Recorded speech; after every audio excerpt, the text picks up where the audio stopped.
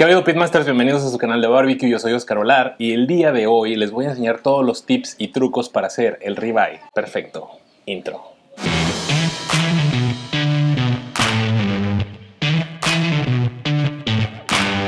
Yo sé que ya han visto mil videos de cómo hacer un ribeye de la manera perfecta, pero espérenme, quiero su atención. Antes de que quiten el video o de que se desinteresen, hay cosas que creo que no saben que deberían saber. Esos tips que les voy a dar son como que los lineamientos básicos para que tu ribeye tenga tres características principales que son las que a mí me gustan. Que tenga una buena corteza, que esté en el término perfecto y que tenga el sabor del beso del carbón.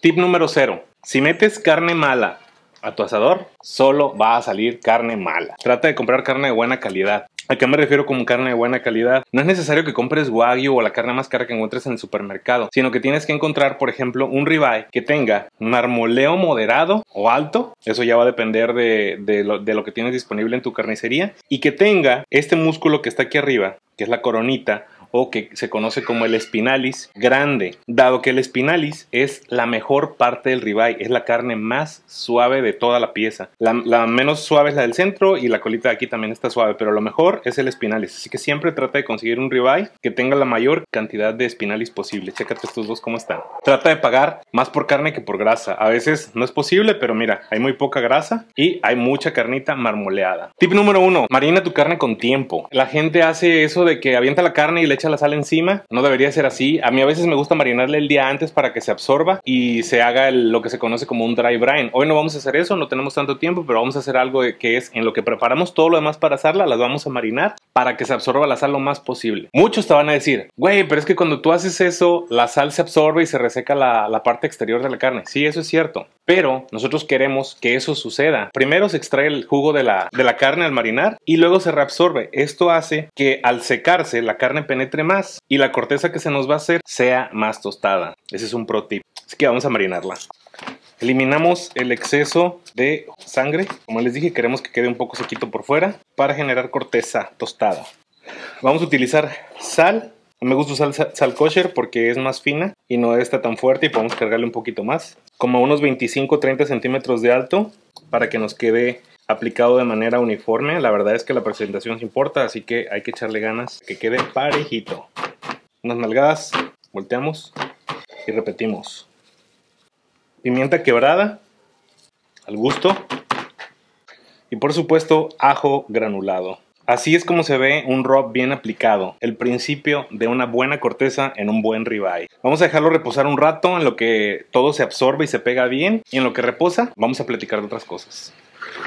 Tip número 2. El tamaño importa del carbón. Si utilizamos carbón como este que se llama lump charcoal o carbón de pedacera, que es carbón de encino, que no es malo, es bueno, tiene diferentes usos. Es un carbón que al ser tan, tan chueco o no uniforme se quema de diferente manera por diferentes lados. Entonces el calor que produce, digamos, en este lado al que produce de este lado es mayor o menor. Entonces nosotros no queremos eso. Nosotros queremos calor uniforme para que toda la superficie de la carne que ponemos encima de la parrilla quede eh, quemándose de manera uniforme y no nos quede un lado más quemado que el otro, ni nos queden flamas. Este carbón no es ideal para asar cortes eh, finos, sino que tiene otras aplicaciones, ¿no? Carnes asadas más sencillas. A mí en lo personal me gusta usar briquetas porque como son uniformes, queman más parejo, se queman a la misma velocidad y aparte, si se fijan, tiene unas incrustaciones de madera, de mezquite en este caso, que es mi madera favorita. Si se fijan, se le ve lo cafecito entre lo negro y esto le da un sabor extra. Además, al estar todas parejas, ese requerimiento que tenemos de fuego parejito es mucho más fácil de lograr. Tip número 4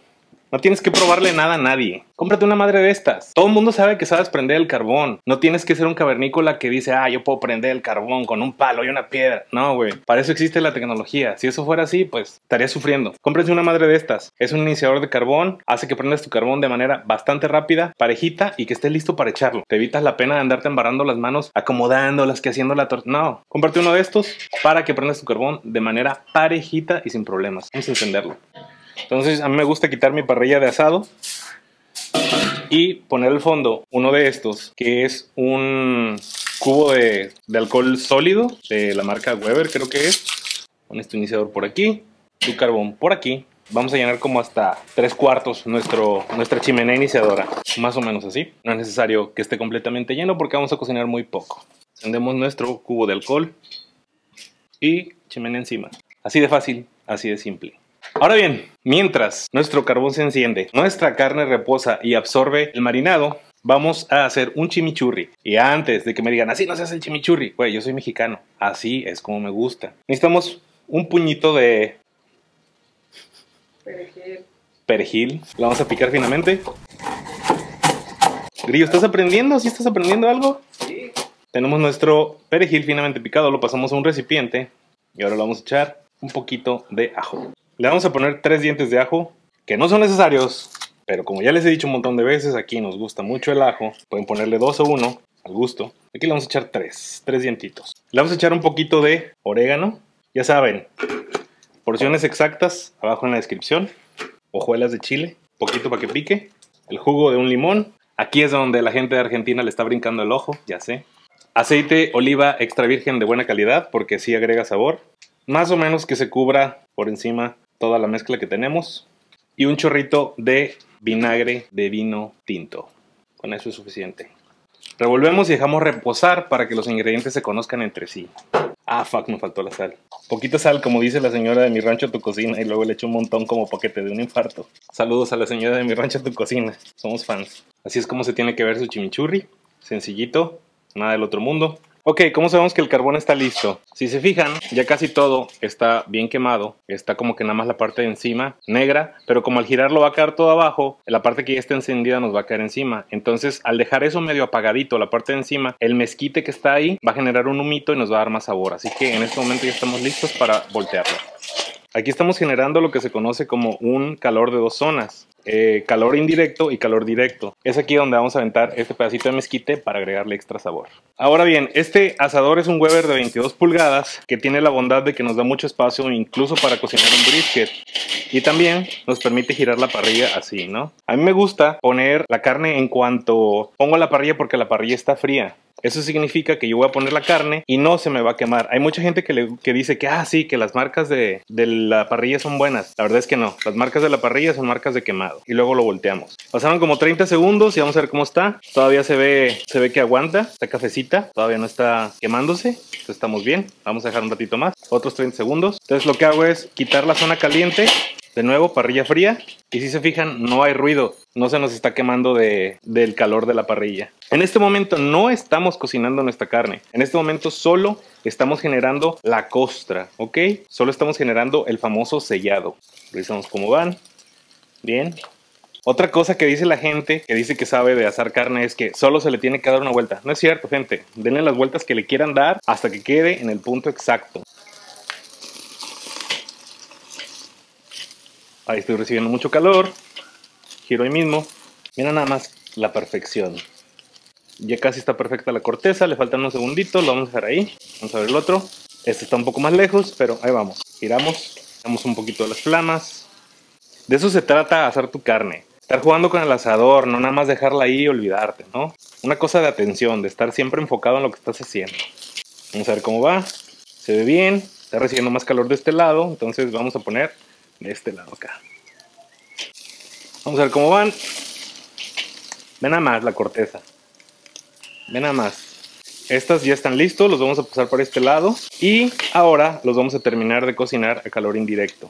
Hay gente que te dice, Simón, término medio es cuando pones el dedo así, pones el dedo así o así y te tocas aquí. Eso no es cierto. O sea, imagínense la mano de un albañil que tiene callos. O sea, aquí duro, aquí mega duro y aquí acero. O sea, eso no es cierto. Los términos se calculan con temperatura y nada mejor que un buen termómetro para calcular la temperatura. La temperatura interna de un corte de este tipo para que esté término medio debe ser entre 125 y 130 grados Fahrenheit. Estos están todavía en el centro a 118, les falta poquito. Entonces aquí a calor indirecto los vamos a dejar un minutito más a que se medio horneen. Entonces del lado donde está la carne vamos a poner, vamos a darle un minuto y volvemos a medir. Ok, ya pasó un minuto, vamos a checar temperaturas. 119, 133 aquí, 131.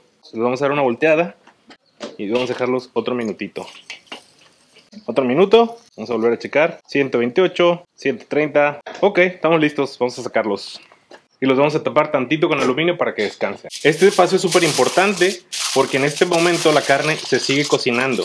Es decir, hay un calor ahí adentro, energía que todavía se está liberando. Entonces al dejarlos así tapados, hacemos que el estrés que tenía la carne a la hora de estarse cocinando, que es apachurrarse, haga como se expanda y vuelva a absorber los jugos que estaba intentando expulsar. Entonces los dejamos reposar unos 5 minutitos en lo que se ponen más fríos para poderlos partir.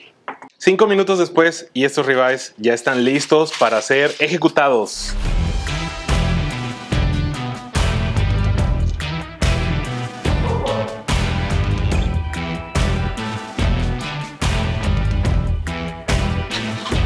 Grillo, tip número, ya no me acuerdo qué, tener cerveza. Salud. Salud. No puedes tener carne asada sin cerveza. Bueno, Grillo, escoge tu veneno. Te recomiendo que pruebes del medio, que es lo que está ahorita un poquito más durito, que es lo que te decía de que el riba y el centro no es lo más suave. Y al final probamos el espinalis. ¿Qué te parece? Me parece excelente. Vamos a probar, pues, un pedacito. Ve, término medio. Salud. Salud. Mmm. Está muy, muy blandita. Y ese chimichurri le da el toque. Está buenísimo, güey. Sí, güey. Nunca pasa de moda un buen ribeye. Que ahumas un brisket, sí, 12 horas, fancy y lo que tú quieras, bar. Un buen corte, bien hecho, poco tiempo, paciencia y cariño a lo que haces, te da como resultado un ribeye perfecto. Mira nada más que hermosura. No manches. Ahora sí voy a probar el espinalis, que es la coronita de la orilla. Le voy a echar un poquito de chimichurri. ¿Me puede servir un poco también? Claro que sí, compadre. ¿Probaste la orilla? Gracias. Ahorita me lo me voy a probar todo. Mmm. Definitivamente no sé, no sé asar. ya sabes qué es lo que hay que hacer. Aparte, el asador es el tuyo. No es como que sea diferente. Aprendí mucho, ¿eh? Miren el término. Miren, esto es parte de la orilla. Y si se fijan, todavía está rosita. Término medio perfecto. Nada se nos sobrecoció. Todo se coció parejito. Y está jugosito todavía. Digo, ya no podía esperar más para este momento. Salud, grillo. Salud. Bueno, ya saben, las herramientas importan. No es como que, ah, ese vato termómetro, ah, ese vato iniciador. Hay que ahorrar tiempo, hay que ser eficientes con lo que hacemos y hay que hacer las cosas bien. Las briquetas son, una, son muy buenas. El carbón este es bueno, pero no es su uso principal. Una chimenea para iniciar el fuego ayuda bastante. Imagínense que son un mecánico y tienen solo un martillo. Pues no, les no van a poder arreglar carros bien. Entonces es exactamente lo mismo. Aprovechen todas las herramientas que hay ahorita para todos los parrilleros, que la verdad es que en los últimos años ha crecido bastante. Compren todo lo que puedan y utilícenlo a su favor. Y yo que prendí el fuego con palos y ramas. yo que prendí con palos. Si les gustaron estos tips y trucos, no se olviden de darle me gusta al video. Si tienen alguna duda, déjenla aquí abajo en los comentarios. Y si hacen esta receta, no se olviden de etiquetarme en Instagram como Oscar me encuentran en Facebook como Oscar Olar Pitmasters. Y ya saben, si están mirando, no están cocinando, pónganse a cocinar. Salud, compadre. Salud. Se nos anda olvidando la camarógrafa. Espinalis.